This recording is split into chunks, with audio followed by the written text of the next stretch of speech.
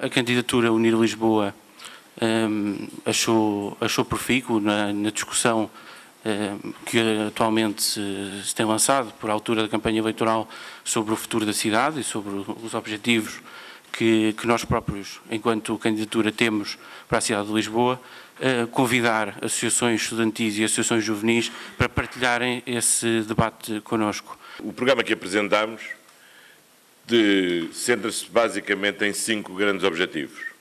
Um, ter uma cidade amigável, e o que designamos por uma cidade amigável é uma cidade onde aqueles pequenos, grandes problemas da limpeza, da manutenção das vias, da manutenção dos jardins, sejam uma cidade com os problemas resolvidos.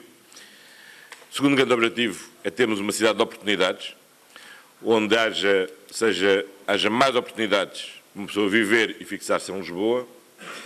Em terceiro lugar, temos uma Lisboa mais sustentável, quer do ponto de vista eh, ambiental e do ponto de vista energético. Em quarto lugar, temos uma cidade mais inovadora, mais criativa, mais competitiva. E em quinto lugar, temos uma cidade que tenha uma forma de governo mais próxima e participada. Uma das questões eh, essenciais para uma cidade de oportunidades dirige precisamente à juventude. Como criar condições para haver mais oportunidades para a juventude se fixar em Lisboa.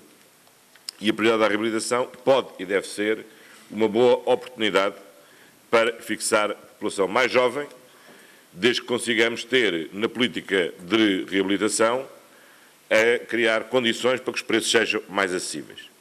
E foi isso que fizemos designadamente com as novas regras das taxas de construção, em que isentamos integralmente de taxas quando se trata de reabilitação e com a classificação de várias zonas da cidade, 14 no total da cidade, como áreas de reabilitação urbana, onde haverá, portanto, isenção quer de IMI, quer isenção de IMT, relativamente às casas que sejam reabilitadas. Outra linha tem a ver com o arrendamento, com o fomento do arrendamento e do arrendamento jovem, quer pela via da criação de bolsas de arrendamento, quer uma medida particularmente importante para a população jovem, que é a parceria com outras entidades para criar um seguro de renda que dê confiança e reforce a confiança dos senhorios na colocação das casas no mercado para arrendamento. Temos depois as políticas próprias do município e, designadamente, os programas que, através da EAPUL, estamos a desenvolver e que permitirão colocar no mercado, entre 2009, 2010 e 2011, cerca de 400 fogos direcionados especificamente para jovens. E estou a falar de fogos concluídos, visto como é sabido, os programas é pelo jovem perderam muita credibilidade por terem sido colocados no mercado, não com as casas concluídas, mas ainda em fase de projeto. E a única forma que temos de restabelecer a credibilidade nestes programas da Apple Jovem é deixarmos de vender as casas no papel e passarmos a vender as casas já concluídas. E essa é a aposta clara que temos. Mas há uma segunda dimensão, para além das políticas de habitação, que nos parece importantes para aumentar as oportunidades das famílias jovens fixarem em Lisboa. Viver em Lisboa não é só ter casa. É ter casa, é ter trabalho e é ter boas condições para viver na cidade. E nós temos consciência que, por muitas medidas que adotemos na política de habitação, dificilmente em casa, a habitação em Lisboa pode ter um custo inferior à dos conselhos à volta de Lisboa.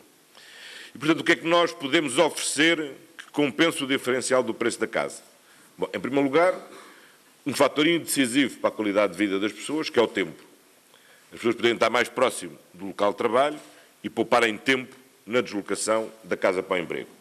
Quem vive no centro da cidade poupa muito tempo relativamente a quem vive na periferia. Mas há algo que podemos oferecer que tem diretamente a ver com aquilo que a Helena Roseta costuma designar como cabaz familiar, que é o conjunto das despesas que uma família, que uma família tem. E um contributo que podemos dar é termos em Lisboa bons serviços públicos, bons equipamentos públicos, que permitam às famílias poder se instalar e viver na cidade de Lisboa, compensando o sobrecusto da habitação. E por isso a prioridade que definimos no próximo mandato do investimento que temos que fazer em creches, jardins de infância, escolas e transporte, e transporte escolar. Neste mandato, nós fizemos um trabalho de casa fundamental, foi a definição de um conjunto de instrumentos de planeamento que nos permitem hoje saber onde e que necessidades de equipamentos nós temos no conjunto da cidade. A Carta Educativa, a Carta Desportiva, a Carta dos Equipamentos Sociais, a Carta dos Equipamentos de Saúde, são cartas, são instrumentos de planeamento que estão concluídos e que serão incorporados no Plano Diretor Municipal. Lançámos o programa Escola Nova, que prevê a reabilitação do parque escolar, dos jardins de infância e escolas do primeiro ciclo e o alargamento de jardins de infância e escolas do primeiro ciclo. E temos metas quantificadas para o próximo mandato. Nós queremos criar no próximo mandato 76 novas creches, 36 novas salas de jardins de infância e reabilitar 80 das 90 escolas do primeiro ciclo e construir 7 escolas novas do primeiro ciclo. E este ano iniciamos, aliás aqui nesta zona, na, no agrupamento Marquês da Lorna, um projeto piloto de transporte escolar. Pôr a escola pública com carrinha, que reforça a segurança do percurso da casa para a escola, que alivia os pais do, do, do encargo que constitui ter de transportar os filhos de casa para a escola e buscá-los à escola para os levar à natação, ou à música, ou à casa dos avós, e isso poder ser feito pelas carrinhas escolares, Bom, e um enorme alívio para toda a cidade, visto que todos experimentamos bem o que é que significa ter, o que é que significa ter eh, a cidade com as escolas a funcionar ou a cidade sem escolas a funcionar nem matéria de tráfego. Muda radicalmente.